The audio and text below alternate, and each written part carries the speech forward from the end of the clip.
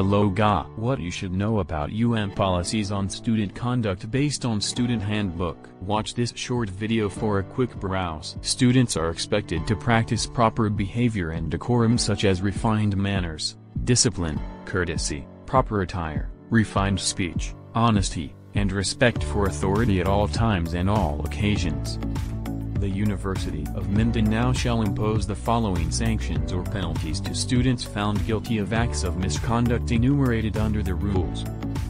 Disciplinary sanctions or penalties, warning, a verbal orientation is meted to the student for committing a reported offense, recorded in the logbook, reprimand, a written warning given that the commission of a similar or any offense in the future shall be dealt with severely.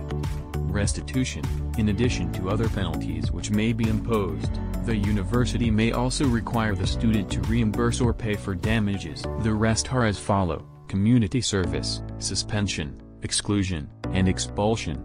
Please refer to Student Handbook Section 6 for further details. Other topics for Section 6 are Dress Code, outfits allowed and not allowed for students. Policy on School ID. Classroom behavior either face-to-face -face or online. During convocations, programs, and assemblies. Policy on Clean As You Go, CLAGO.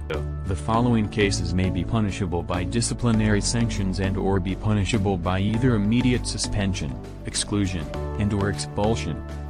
Gross misconduct, instigating or participating in concerted activities leading to the stoppage of classes, preventing or threatening any student or employee of the university from entering the campus or from attending classes or from discharging his slash her duties, drug dependency or addiction, selling and or possession of prohibited drugs, hazing, extortion, plagiarism, immorality or sexual misconduct inside the campus, stealing, assaulting any member of the university community, forging or tampering with school records and forms, securing or using forged school records, forms and documents, defacing or mutilating school property, including library books, vandalism, hooliganism, drunkenness and other instances analogous to the foregoing.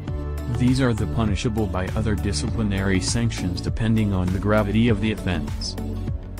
You may download a copy of the student handbook on your student portal for further details.